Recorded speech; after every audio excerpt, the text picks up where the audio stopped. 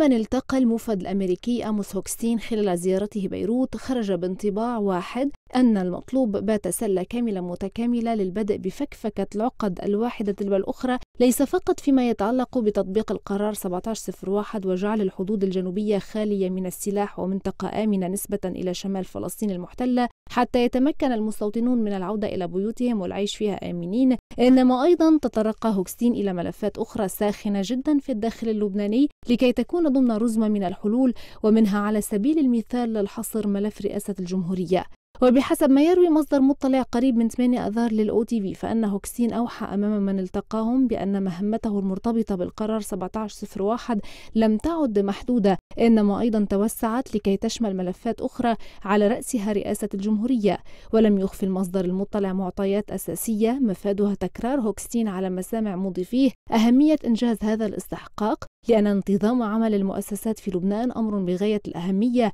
لمواكبة التغيرات والتطورات بالمنطقة.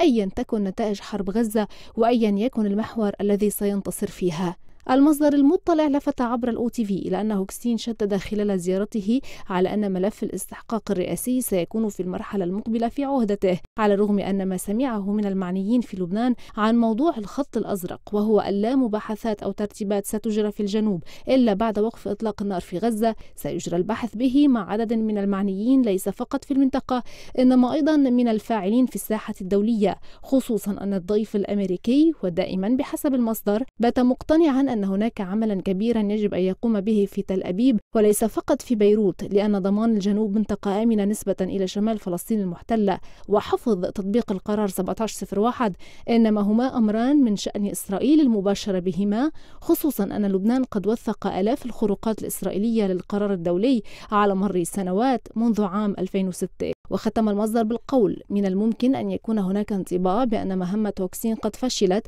إلا أن من يطلع على تفاصيلها يدرك أن الرجل قد بدأ مرحلة جديدة من المباحثات فهل سيكون مسار السلة الكاملة المتكاملة أسهل من المسارات الأخرى المتعرجة التي كان هوكستين وغيره من المفادين الدوليين يحاولون سلوكها؟